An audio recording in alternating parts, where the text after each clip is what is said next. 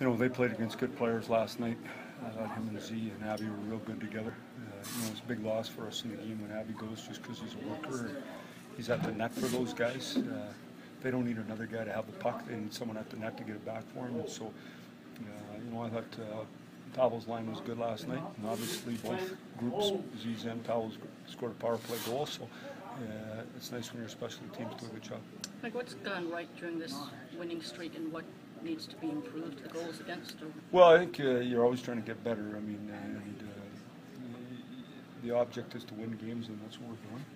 Uh, we want to be better defensively. We want to be better offensively and way harder in both ends, around both nets. Uh, you know, we got a bunch of young guys that got a lot of growth opportunity in front of them if they really embrace it and work every day.